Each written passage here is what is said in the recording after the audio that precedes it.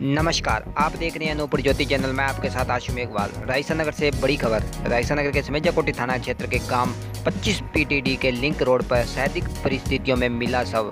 Police को सूचना मिलने पर शव को लिया कब्जे में। जाँच करने पर खेताराम, पुत्र फूसाराम निवासी 25 पीटीडी के रूप में पहचान हुई। मृत के पिता ने थाने में रिपोर्ट दर्ज करवाई।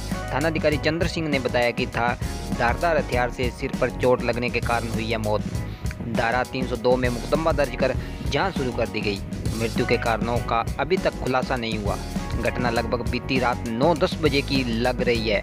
आज सुबह किसी रागीर ने 23 पीटीडी निवासी सीएलजी सदस्य गुरुदेव सिंह को बताया तो उन्होंने तुरंत पुलिस थाना समेजा को सूचना दी।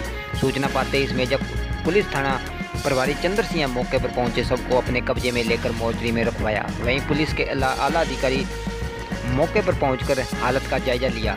श्री गंगानगर से एफएसएल की टीम ने घटनास्थल पहुंचकर मृतक के खून के नमूने लिए और जाँच में जुट गई। वहीं शक के आधार पर कुछ व्यक्तियों को राउंड अप भी किया गया।